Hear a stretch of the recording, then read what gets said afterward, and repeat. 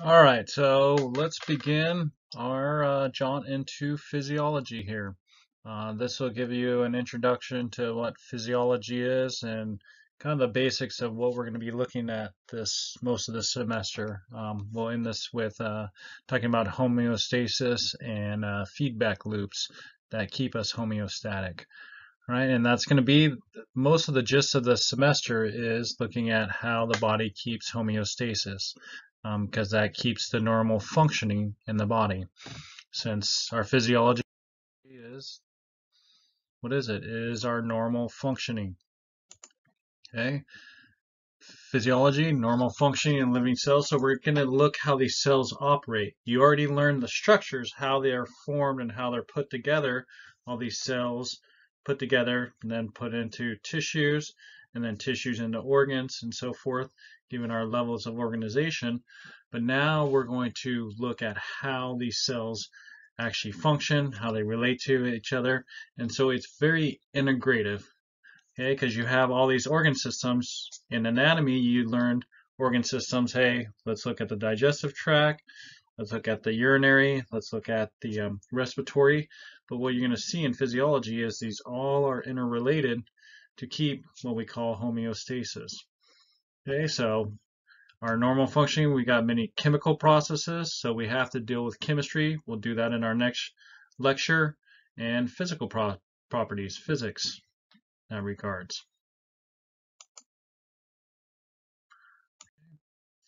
And so some of those, like I said, rooted in chemistry and physics.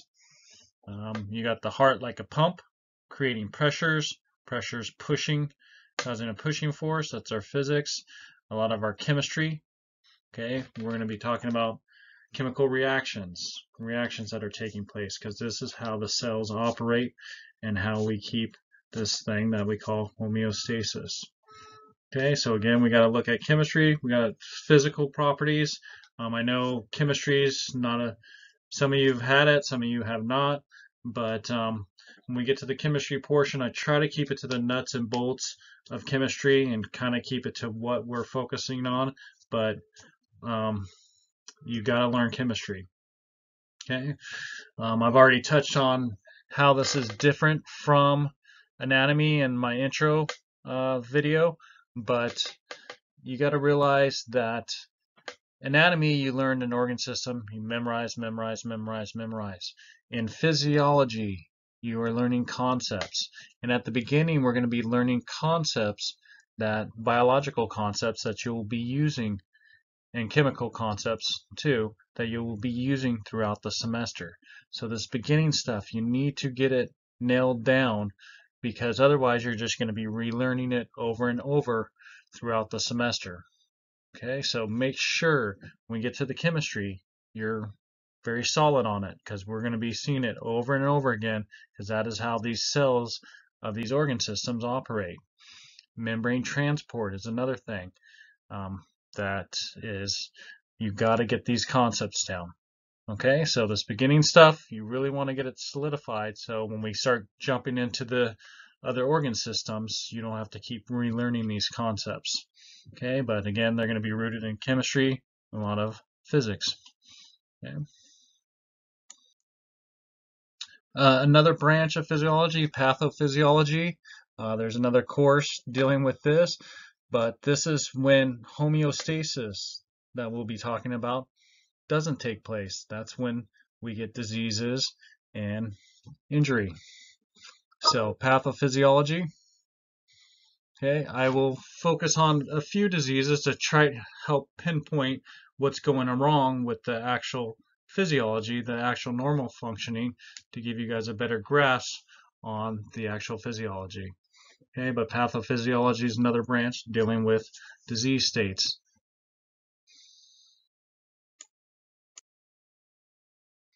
So let's talk levels of organization. This should look familiar to your anatomy days. You've probably seen some version of this, but we got at the most simplest we have atoms and molecules, the chemistry portion. Okay, atoms are put together into molecules. Molecules are put together to make up cells. and then cells are put together to form tissues, and then multiple tissues are put together to form organs, and then multiple organs will make an organ system, and ultimately those organ systems make the organism. Okay. In anatomy, you were dealing a lot with this portion. You got maybe down to the cellular level for the most part. So you spent a lot of time up in these upper regions during anatomy. Okay. We in physiology, because we're looking at the function, we're looking how the cells operate, and they operate through chemical ways. We're going to be focused more down in this region for physiology, and therefore that is why you need to have that chemistry. Okay. I already said atoms make molecules, cells. Cells is the smallest living unit. And then multiple cells bring us to tissues. And then, does anybody remember your four tissues? We'll go over a little bit. I'm just going to go over briefly because a lot of this tissue stuff and organs and organ system stuff is stuff that should be carried over from anatomy. So I'm going to probably run through it fairly quickly so that if you forget the graphs of these tissues, these um, organs and so forth, you may want to go back and review that um, because I will just be running through quickly because we got to jump into the physiology portion. Okay, tissues, organs, and organ system. So let's look through our tissues. Again, we're going to be focused more on the cellular level and the molecular level, but you got 36 trillion cells, and they're all basically one of these tissues. They're either epithelial. You guys remember epithelial are those coverings. Your skin covers line your digestive tract. They're the key about the epithelial is they're basically our interface with the outside environment. So they're going to be important when we start talking homeostasis because for us to operate, we got to have interaction between the external environment. So epithelial tissues, we will be looking at a lot of that's how the cells operate in different epithelial tissues. Connective tissue, that's the glue. Okay. We don't focus a lot on the connective tissue because they're kind of the glue and filler. Um, but we will be touching on muscle tissue. Hopefully you remember the three muscle tissues. We got the cardiac, the um, smooth, and the skeletal. All right, we'll be dealing with all three of those. And then the nervous tissue, those neurons, but we'll see neurons and glia cells. So we're going to look, spend a lot of time on how this nervous tissue operates how it's organized, and the different components of the nervous system. Okay, so let's look at epithelial. We said the lining and coverings. Also glands. So we will be all those organs of the endocrine system that we will be focusing on and how they operate are epithelial tissues. Okay, the functions physical pr protection, diffusion and filtration. So we're looking at the urinary system, secretion, absorption. Okay, again, urinary, absorption, urinary and digestive tract, sensation. So we're talking nervous system and, and ion transport. Again, these epithelial tissues are interface with the external environment, and so therefore they are very important in getting stuff out and into the body. We got to um, cross a layer of epithelial to get either in or out of the body.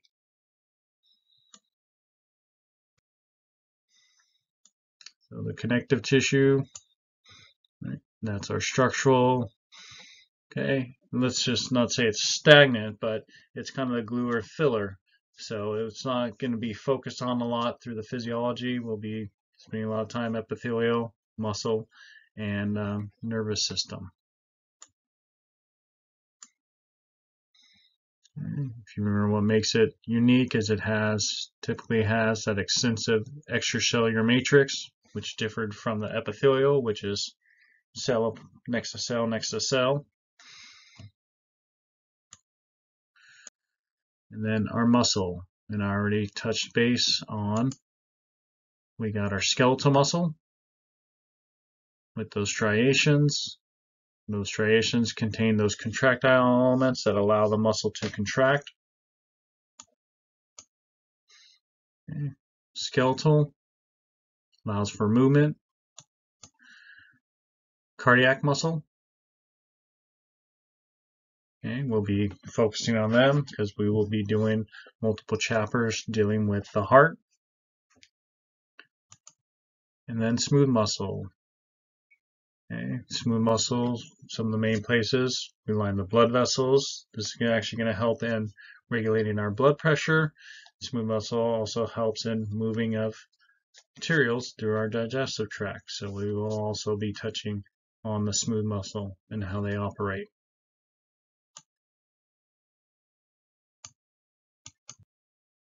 And finally, my favorite, the neural tissue.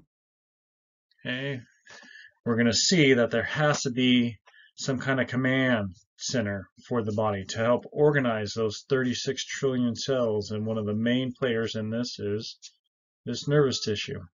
Okay, the neurons allow for communications across long distances. So we will spend a good amount of time on the nervous system. Um, basically, we have a whole chapter or whole exam on the nervous system and a couple of the um, couple of the organizations of the nervous tissue. Okay, so we're spending a good amount of time looking at how each individual operates and how some of the different divisions actually operate. Okay, but everybody thinks nervous system, neurons, because those are those ones that allow for communication, but the helper cells and the ones that help support and make sure, and they're actually more numerous than the neurons, are the glia cells to make sure these cells can operate. So imagine these cells are microscopic in scope. They can be up to three feet long. So they're going to need a lot of help to make sure that they can function properly over these long distances. And that's going to be one of the functions of those glia cells. Make sure the environment around the neuron is supported so or staying constant so the neurons can operate. Um,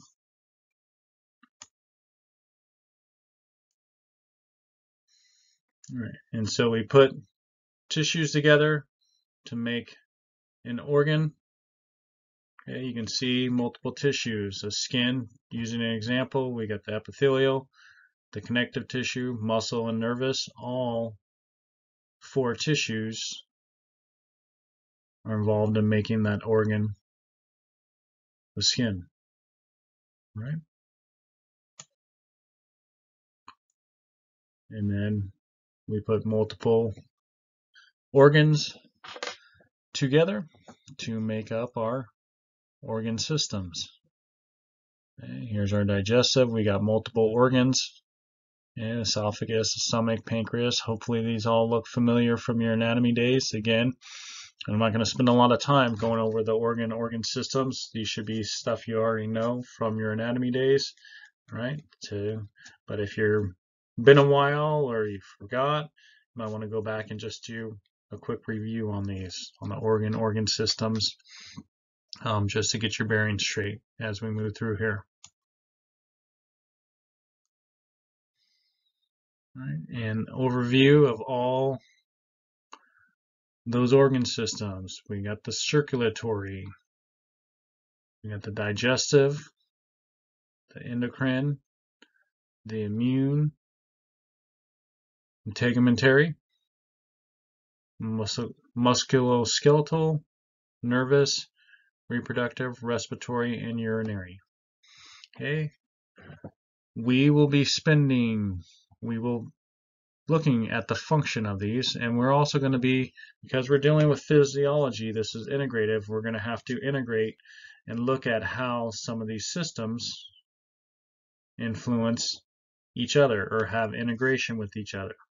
Okay, the only one we will not be focused on will be the integumentary. Okay, otherwise we're going to be breaking down.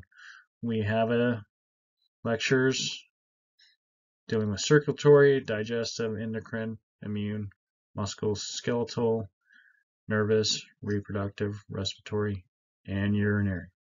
Okay, we'll be breaking those down. We'll be looking at the cells. We'll be looking at how they function and what their function is to basically help create homeostasis in the body, in the organ. sorry, organism. Some themes of physiology. You've probably already heard structure goes along with function. Okay. Your organs are created in a way so they function in the function that they need to do. Like we said with our nervous system. Our nervous system microscopic, but they can be long, almost a meter long in length. Okay. This allows for long distance communication. If the nervous systems were small, or neurons were small or only small length, we would have to have multiple neurons, so we'd have to pass a signal to each of these cells. Whereas if we stimulate this one neuron that's stretch over this long distance, we can get this rapid communication. So we get the structure follows the function. Okay. As for molecular interactions, which we're going to be talking a lot with chemistry, compartmentalization, we'll be talking about here shortly on how we get compartmentalized so we can get the cells can function and have a compartment in which they function and allow them to function properly. Living organisms need injury, or sorry, not injury, energy, and this we will focus on when we start talking about metabolism and cellular respiration. We'll be looking how cells are able to eat, uh, meet those energy needs. Okay, we will be information flow coordinates function throughout the body. Anybody guess what two systems we'll be talking about here? The more obvious, the nervous system. Okay, the nervous system is going to be a massive coordinator of all these other tissues, all these other organ systems that we'll be talking about. And the other is endocrine system. The endocrine and the nervous system are kind of those that coordinate and have flow of information to help coordinate all these organ systems so everybody's on board so the body is homeostatic and the cells can all function properly. Okay, and then what we're going to be spending most of our semester is how do these organ systems, how do they operate to keep homeostasis to maintain this internal stability. Okay, the cells, our little cells, they don't like huge fluctuations going on outside in these, they're basically bathed in the solution. If there's huge fluctuations in the solution, they're not going to be able to operate properly. So we have to keep this environment somewhat stable around the cells and inside the cells so the cells can operate. And that process of keeping that internal stability is termed homeostasis. So as we are already alluded to, or what I alluded to was homeostasis. What is it? Okay, it's the ability to keep internal environment relatively stable, constant. Okay, we have all these things going on in the environment. We can walk in, say, have you ever gone to Costco when you get into that cold refrigerator, that freezer thing? You're nice and warm, and all of a sudden you walk into that freezer and you're freezing. You that makes changes. That external change changes can if you don't make any changes, your body temperature is going to go down. And you need to keep your body temperature relatively stable for our cells to function properly. Okay, so you have to make these changes. And that's what basically homeostasis is. How do we regulate this internal environment? You can see in a fish, you these large external fluctuations, Okay, but there's small internal fluctuations. The key is, is in the ocean, in the big ocean, this usually this external, this big sea that they're in, stays fairly stable. Us here, terrestrial and uh, organisms, okay, we have rapid changes. Okay, water temperature doesn't go down as rapidly. It's hard to get change in 30 degrees in a large body of water, but in the terrestrial, in the air, we can get changes of 30 degrees. So it's very important that we are able to maintain this internal environment. So essentially we have a sea inside our body. Okay, we have these fluids, these internal fluids that are almost like our little ocean. And the key is is that it's small. It's not like a giant sea, so small fluctuations can make big changes in this sea that we have in our body. Okay, there's extracellular fluid that we'll be talking about. Okay, so we have to have the ability to maintain this environment. Okay, we eat a lot of salt, right? If you threw, say, a handful of salt in the ocean, it's all going to fuse out and it's not going to make this great change in the ocean. But if you throw that same salt and you eat it, it's going to have a big change in the fluids in your body. Okay, so we have to have the ability to maintain. And so we spend a lot of energy maintaining this and keeping that internal environment stable, which is called homeostasis. Okay, and our organ systems function in a way to make sure homeostasis is kept. So these cells in our body have this nice constant sea around them so they can function properly. Okay. It's not so much, I guess I keep using the word constant. It's not a set point, but it's dynamic. It is moving up and down, but it's not moving boom way up boom way down, it's moving within this range, this homeostatic range. So it is dynamic. It's not constant per se. There is this range. Okay, but again, it's not way up here and it's not way down here. We're staying relatively close to what we call a set point. That keeps us in homeostasis. Okay. And here's kind of how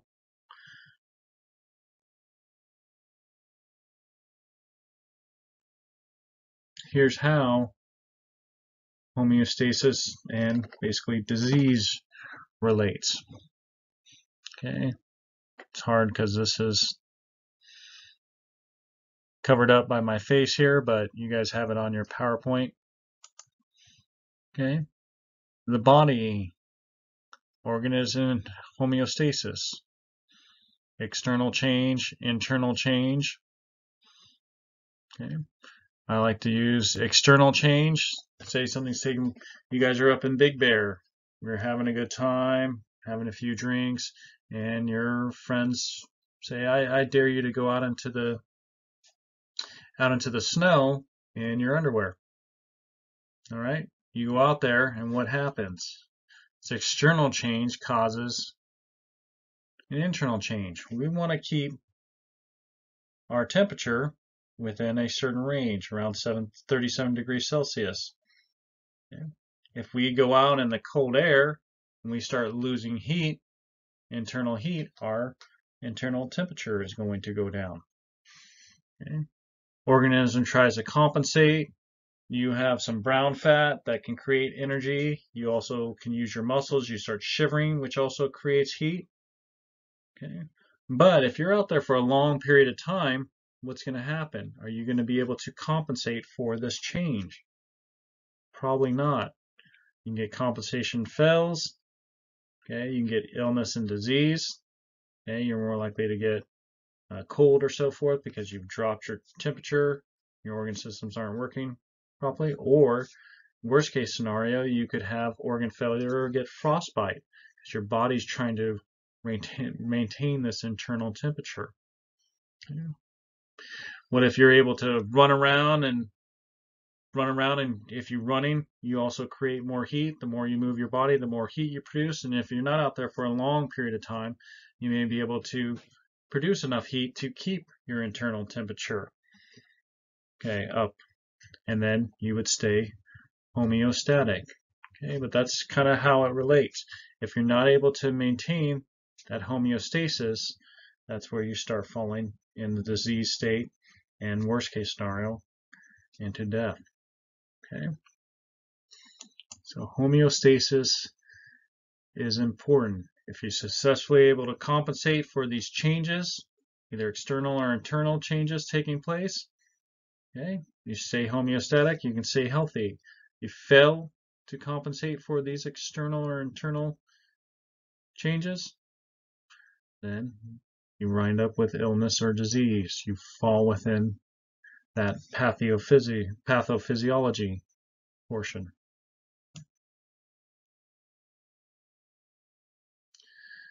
So let's talk on fluid compartments.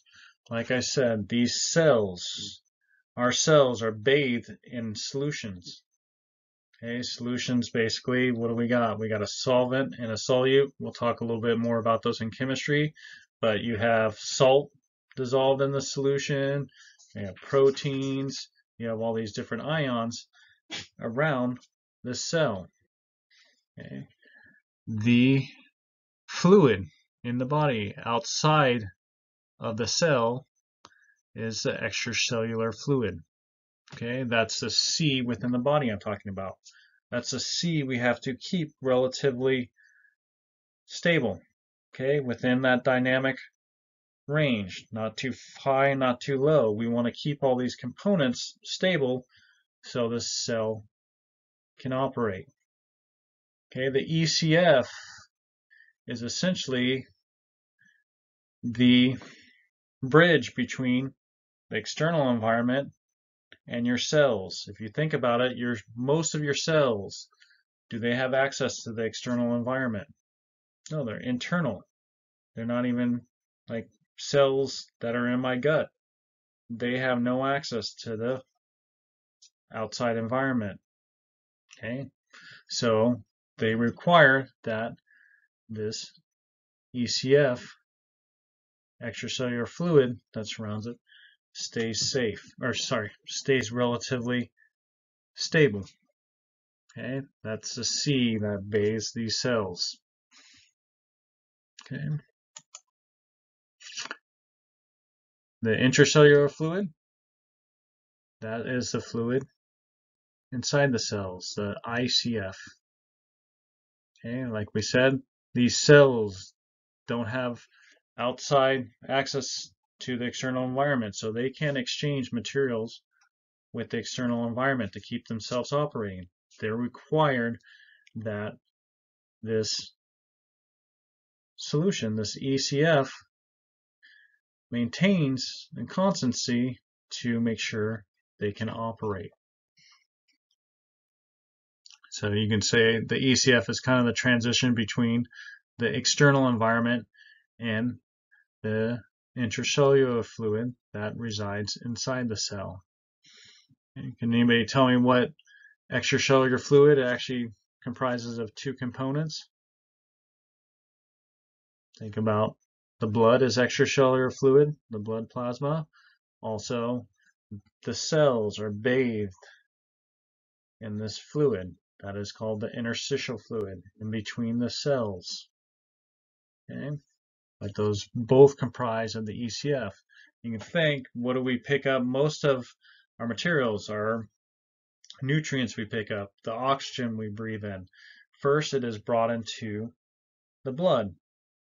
The blood can bring it to wherever it needs to go, and then the blood transports it to the extracellular fluid, and now the cell can use those nutrients or gases if need be. So you can see how this extracellular fluid is basically the transition or the contact between the extracellular environment or the external environment with the intracellular fluid of the cells. Okay. You see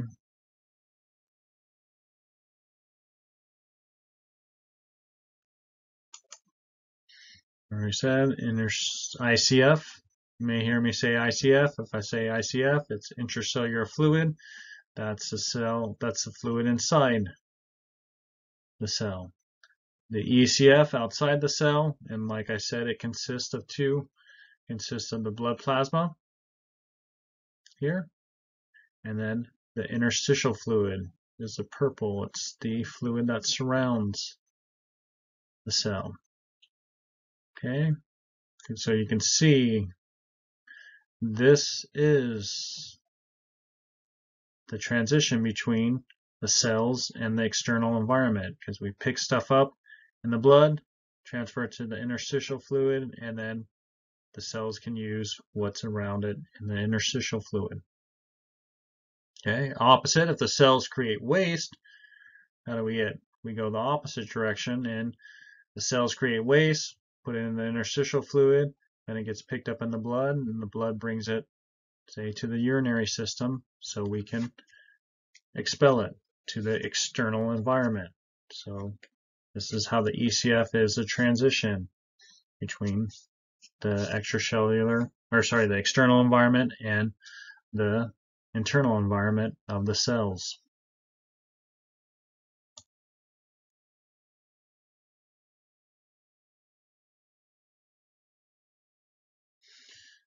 So what we can see in homeostasis, there's a theory called mass balance, the law of mass balance. Okay, amount of substance in the body remains constant, relatively constant, stable within this dynamic range. So if we put something in, something's got to come out. Okay, we drink a ton of water. What happens when you drink a ton of water? No change. If you were completely dehydrated, you've been in the desert and you've been completely dehydrated, you've lost a ton of water, maybe not so much will happen. But if you sit in, sitting at the computer watching this video and you're drinking water, cup of water after cup of water, what happens? You have to start running to the bathroom because the input's got to match it with the output. Okay, if we brought in the water and didn't get rid of it, we would our solution, our blood would become highly dilated or diluted, and also would increase our blood volume, which we'll see later on will increase our blood pressure. So we got to match what's coming in with what is lost. Okay, you can see kind of this balance here, input to output. Let's let's use the lungs. We'll get all these involved here. Input, the lungs. The lungs bring in oxygen.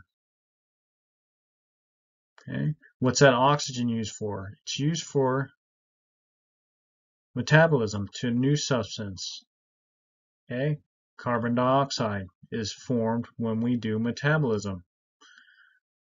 Right, that's an input into this, the metabolic production. So what do we, if we bring in oxygen and we start producing lots of carbon dioxide, can we just allow the oxygen to be used in carbon dioxide, this metabolic production, to keep building up? No, eventually we have to get rid of it, and that's where we have to output it. So input always has to equal the output, so we keep this balance. Okay, otherwise, right? We're trying to keep factors homeostatic. If we just keep inputting, we're going to be raising that factor more and more and more.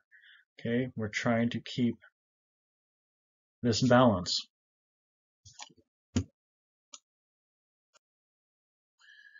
One thing to note, homeostasis. Yes, we want to stay within this dynamic range, but homeostasis doesn't equal what we call equilibrium. All right, we're going to see later on in the extracellular fluid. Okay, what is homeostatic compared to what's homeostatic inside the cell? Look at these two ions. We got sodium and we got chloride. Okay, This is the extracellular fluid. This is what's outside the cell. Okay. You can see the concentrations, the amount of sodium, the amount of chloride in the solution in the ECF, what's dissolved in the solution of these ions is relatively high. Now look at, except for my big head is in the way here, if we looked at the same concentrations of these two ions inside the cell, you see they are rather very, very low. This is homeostatic.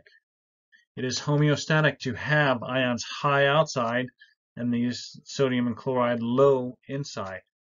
If they were to reach equilibrium, your nervous system would not operate. You would not be able to send signals through your nervous system. Okay, you would have no way of communication. There would be much, you'd probably be dead at that point if it ever became equal. Okay, so you wouldn't even have to worry about the nervous system. All your cells would be. So the cells, what's homeostatic is to keep this discrepancy, to keep this difference is homeostatic. It's not equal. Okay, we want ions high outside, or well, sodium and chloride high outside, and sodium chloride low inside the cell. Okay, so we've already talked chemical disequilibrium. Okay, many times the fluid compartments are different chemically, difference in ions. You see there's also a difference in calcium. Or sorry, not calcium, potassium. K is potassium. Okay, it's the opposite. Low outside, high inside the cell. Okay, that's a chemical disequilibrium. When we get to the nervous system, and even all cells, but we utilize this, what we call membrane potential. We utilize this electrical disequilibrium. Okay, inside the cell is more negative compared to outside the cell. That is homeostatic. If we reached equilibrium in electrical membrane potential, again, your nervous system would not be able to operate. Okay, so homeostatic is disequilibrium. We will see osmolarity, osmotic. This has to do with the total amount of solutes in the solution outside the cell and the total amount of solutes inside the cell. We can see in this case homeostasis is equal to equilibrium. So we do want them equal. Okay, if you get too far in one direction on either of these, you're going to have some serious problems. And we're going to see this we start talking membrane transport and osmolarity. Okay, we want the amount of dissolved stuff inside the cell equal to the total amount of dissolved stuff outside the cell. So we do want equilibrium to be homeostatic in that case. Okay, but it doesn't always, homeostasis doesn't always equal equilibrium.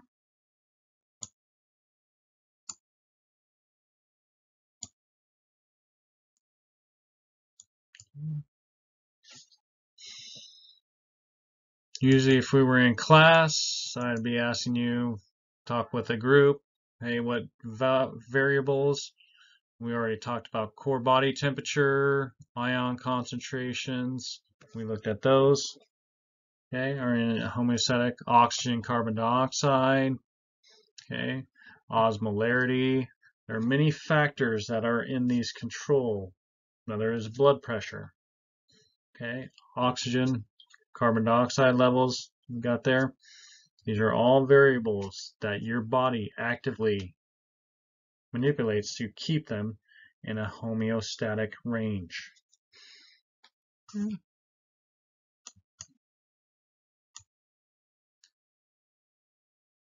How is this done? Okay, control systems. We have these control systems that regulate. Okay, we have organ systems set up in a way that they operate to maintain this homeostasis. Okay, we want to regulate the variables so they don't stray too far from that set point. We don't want them going way high or way low. Okay, so your body is arranged, it has these arrangements, these control system arrangements that help maintain these variables. Okay, and there's two basic forms of control. There's local control. You'll see this occurs at basically locally at the tissue. And there's long distance reflex control. And we'll see two main players in this. You think, how are we able to communicate over long distances? Endocrine system and nervous system will help regulate this long distance reflex control.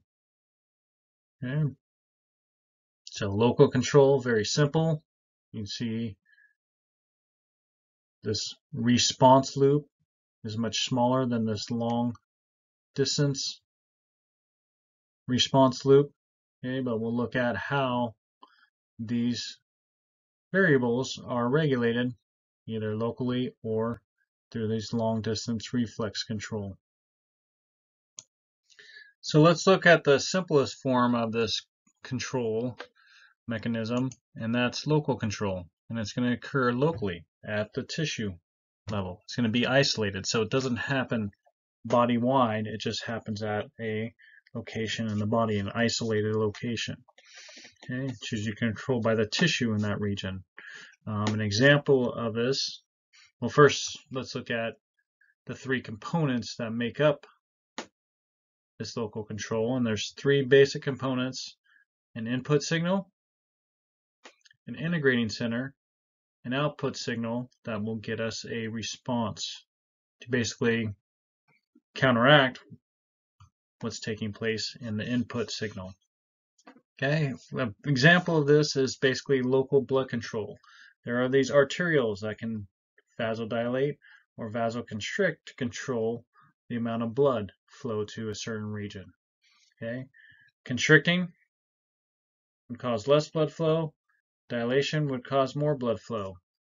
Okay, there are tissue, there are cells that line these vessels in various locations in the body. Say there is a low level of oxygen to the muscles in the in my shoulder here. Those cells okay, get an input signal. The input signal is oxygen levels are low.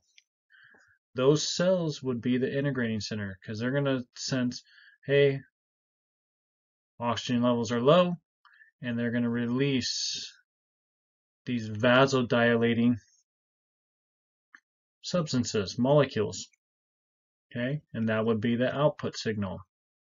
Output signal would cause, because they're vasodilating, cause the vessels to dilate.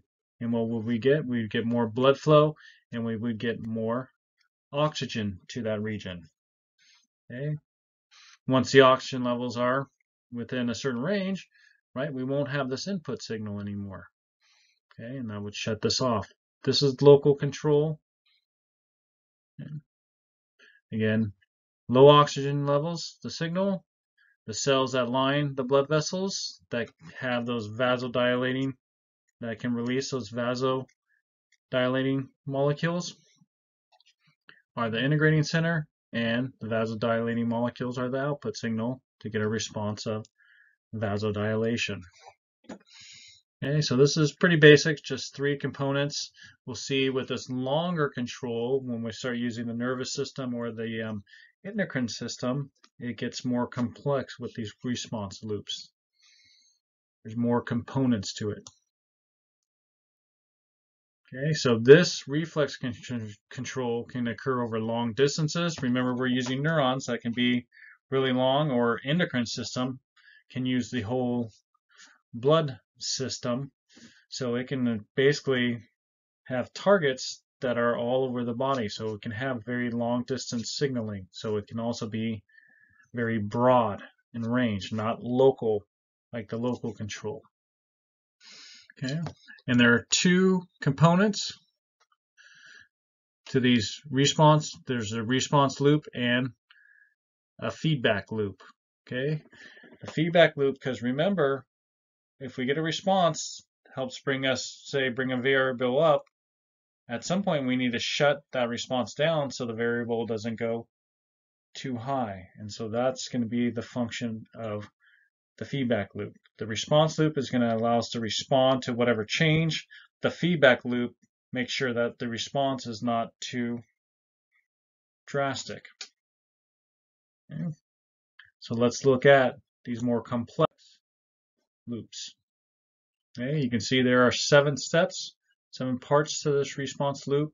They're always going to begin with a stimulus. What change is taking place, either externally or internally. We have to have something that can measure this change, that can sense it. So that's the function of the sensor.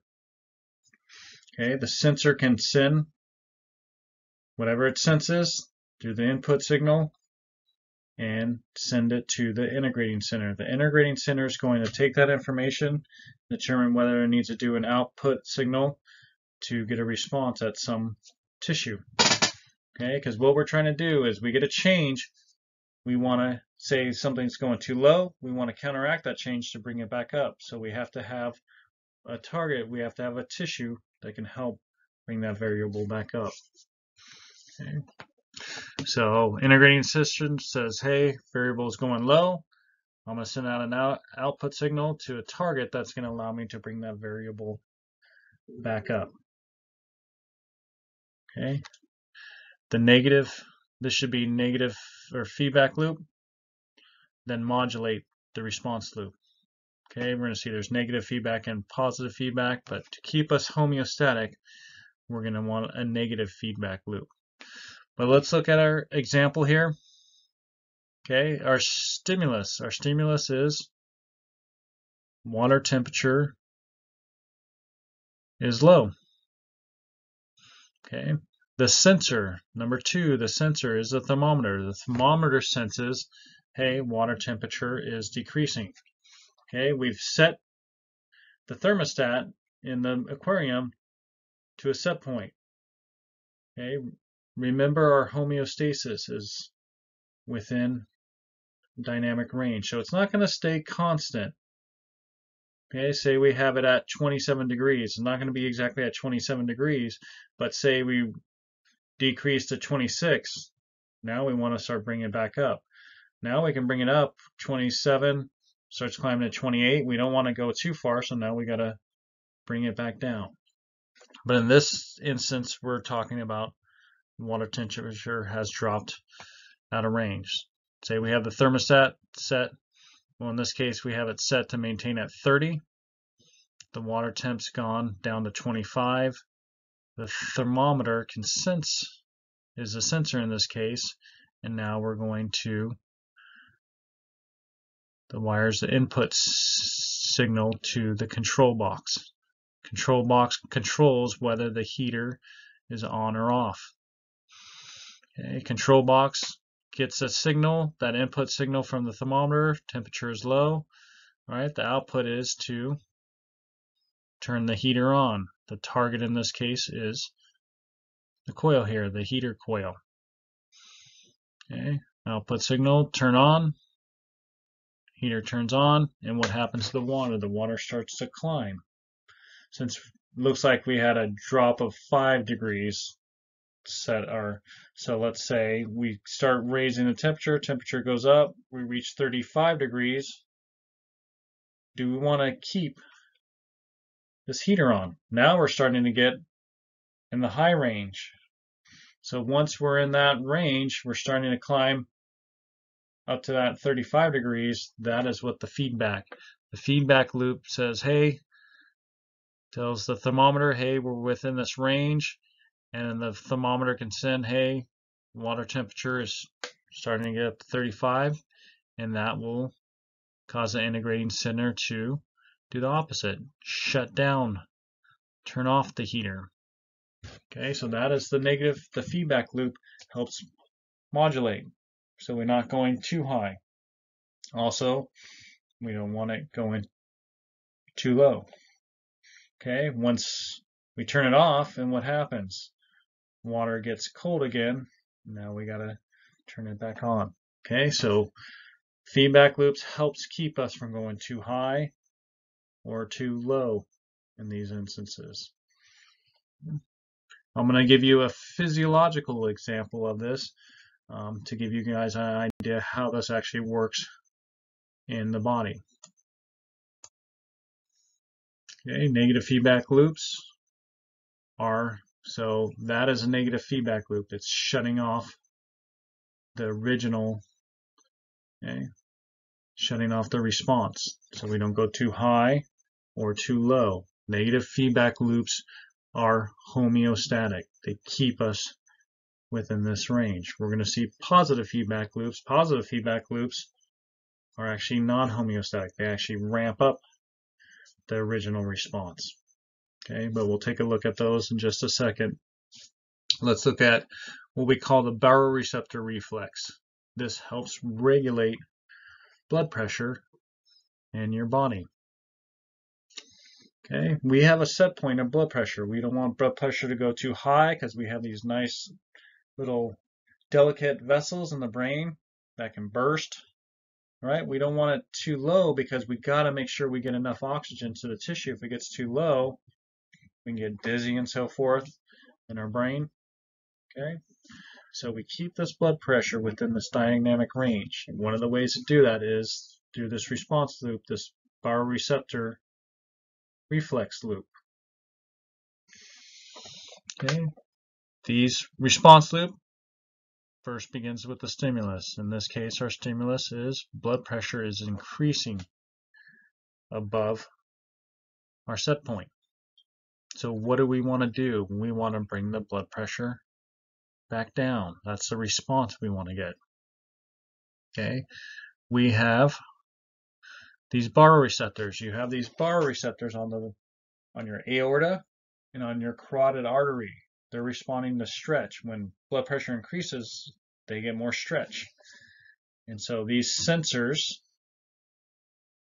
can send signals through the afferent neurons. Remember, afferent's going from outside, bringing it into the central nervous system. And we have regions of the brain, cardiac centers in the brain, that receive these inputs from the baroreceptor. Okay, the cardiac centers are the integrating center. They're going to integrate, hey, I'm getting signals of low blood pressure. And what are they going to do? They can send out an output signal. This case, the afferent neurons can send the signal down to the target tissue. What are some we have high blood pressure. What are some target tissues that can help lower? What we can get a response in certain tissues that will help lower our blood pressure. Okay, we have blood vessels. When our blood vessels are constricted, the pressure is higher. When the blood vessels or blood vessels dilate, that lowers blood pressure. Also, our heart we can lower our heart rate. We can also lower how much blood is being pushed out in the system, or what we call our contractility. Those can be controlled. In this case, since blood pressure is high, we want to lower our heart rate and lower the force that the heart is pushing out blood. Okay, so those the output signals can go to the heart and the blood vessels to get us a response that helps lower the blood pressure. Okay, do we want this signal to constantly be sent to the heart to keep lowering, keep lowering, because what's going to happen to our blood pressure? We're going to start dropping drastically. We're going to be dropping out of that homeostatic range. We don't want that. So that is the function of the feedback loop. Feedback loop is once blood pressure gets to the low end of our, our homeostatic range, what's going to happen to those sensors? Those sensors are going to sense there's going to be less stretch on them. The signal now from the sensors is, hey, blood pressure's getting low. And what can the integrating? It can cause stop the output signal that's telling the heart to slow down and telling the blood vessels to dilate. Okay, and that keeps us from going too low because it'll stop that response that's helping us drop the blood pressure down. Okay, so you can see how these negative feedback loops are homeostatic. Um, nervous system is one way because we're talking body-wise and over long distances. Um, another one is endocrine system. Your blood glucose is controlled by cells in your pancreas, okay, by the endocrine system. We don't want blood glucose to go too high or too low, okay, but you can see how these feedback loops are used, or feed the response loops with the feedback loops are used to keep us and will help regulate our homeostatic range for our various variables. So this is just a drawing to put in. There's those baroreceptors I was talking about. Here are those afferent fibers bringing whatever information is coming from the sensors to the brain regions. And then we get the integrating center that's ultimately going to send out afferent output signal through the afferent fi fibers to our target tissue. Okay. So that is for negative feedback. Negative feedback keeps us homeostatic, keeps us within that range. Positive feedback loops, on the other hand, are not homeostatic. They actually reinforce the original response. Okay, initial stimulus causes a response, and that response causes more stimulus and causes an increased response. The classic example of this is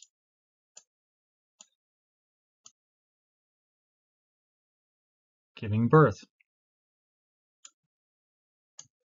All right. When it's time, right, gravity starts taking hold, and you can see the baby is starting when it's time to be pushed out, the cervix starts to stretch. That's the initial stimulus. That's the stimulus. Okay, that stimulates when the cervix starts to stretch, it signals oxytocin release. That's the output signal. Output signal goes to the uterus. Oxytocin causes the uter uterus to contract. This muscle here starts to contract, and what's that do? It starts pushing the baby down. And what's it do to the cervix? It causes more stretch on the cervix. Okay, that was the initial stimulus, was stretch on the cervix. More stretch on the cervix causes more oxytocin release, causes these contractions to be even stronger, causes the baby to be pushed down even further, causing more stretch. So you can see how we're amping up our oxytocin release, which causing our uterine contractions to be stronger and stronger. This will keep taking place because until there's no stretch on the cervix, this is going to keep increasing. Okay, what happens? The baby finally gets born, and what happens to the cervical stretch? The cervical stretch goes away, and what happens to the oxytocin release? It gets shut down or dampened. Okay? So we need an outside force to stop our positive feedback loops. In this case, the baby being born, it's an outside force that stops this feedback loop, this positive feedback loop from taking place. Okay, so positive feedback loops are not homeostatic. Most women, if you ask them, did you feel fabulous? Did you feel very calm and within a homeostatic range when they were giving birth? They would probably tell you a no. Okay, another positive feedback loop is ovulation. Okay, you most female will tell you usually when it's that time of the month and ovulation is taking place, they're not feeling very homeostatic. So you can see these are positive feedback loops, taking us out of the homeostatic range. Okay, amplifying response rather than getting the response up to a range and then stopping it so it doesn't go too high.